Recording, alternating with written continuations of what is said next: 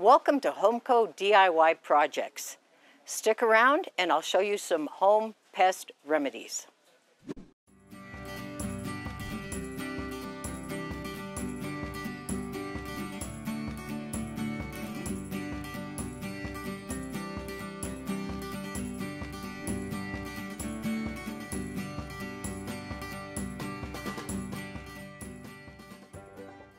Hi, welcome to the Lawn and Garden Department here at HomCo. I'm Cece and I'd like to tell you a little bit about the DIY pest control.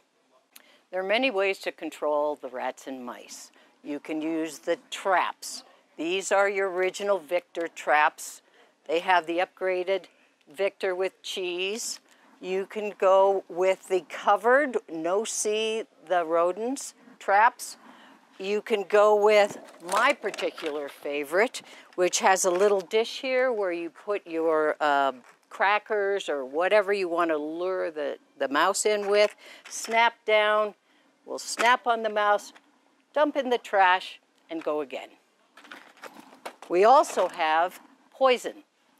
This poison here, Rad-X, is also for mice and it is very friendly to other animals who may eat the poison or eat uh, a rodent that's eaten the poison. It interferes with the digestive system of the rodent only. We also have many other poisons that you could use. You may choose the glue trap, many sizes depending on if it would be a rat or a mouse.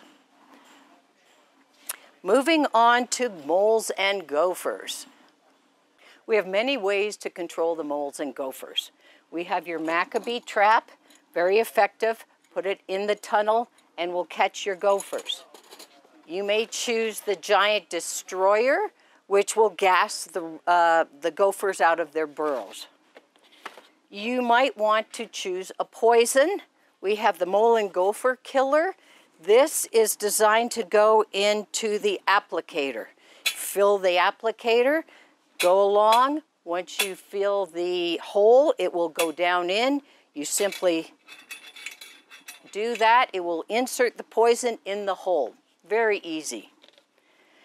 Uh, we also have poison peanuts for the moles and gophers. This package is designed to make a hole in the mound to put the poison in. We have a variety of critter repellents from snakes to deer to cats, dogs, uh, skunks, raccoons. It's just a repellent. They don't like it. Most of it is made made with uh, black pepper, so it's pretty safe for your other animals. It's not going to hurt them, it's just going to deter them. Okay, we have a host of insect bait and poisons from ants, wasp and hornets, fleas, bed bug killers, roach, boric acid. But what I recommend is a whole home remedy, something such as home defense or perhaps Spectracide Bug Stop. With this type of product, you would spray around the outside of your home, up the walls, around the windows, around the doors, and then inside around the baseboards. Usually once, maybe twice a year, and that will help keep your home bug free. You can find any of these products here at HomCo Lumber and Hardware. We offer curbside pickup and in-town delivery. For more information, you can go to myhomeco.com. Thanks for watching.